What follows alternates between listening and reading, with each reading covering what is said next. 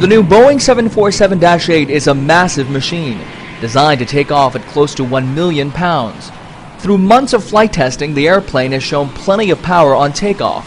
But how would it handle all that energy if it had to suddenly stop? In the emergency event that we have to make a rejected takeoff at these heavy weights, it takes a long distance for the airplane to stop. It's just like in your car. Captain Kurt Vining and the Boeing Test and Evaluation Team are about to put the airplane through the ultimate rejected takeoff, or RTO. First, the crew installs a set of 100% worn out brakes. So it's down to the stud. So if you ever have your own brakes, they've got a machine down to so there's just basically no material left. Technicians also fuel the airplane up to maximum takeoff weight of just over 975,000 pounds.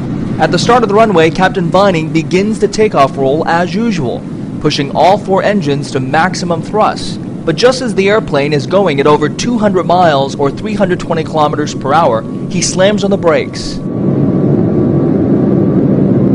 To channel maximum energy to the carbon brakes, the pilot cannot use the thrust reversers.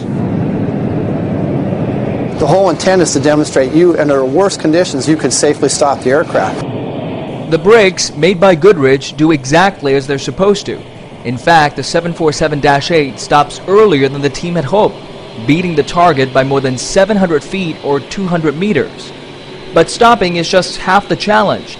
Now the airplane must prove it can withstand the tremendous heat that built up in the wheels, estimated to be more than 1400 degrees Celsius. And it's a simple physics problem. We have to turn that kinetic energy into heat in the brakes.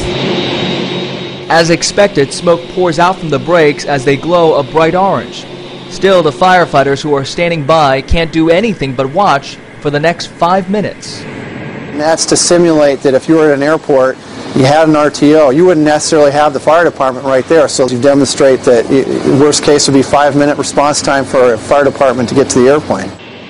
By design, special fuse plugs in the tires are activated, deflating the tires before they explode.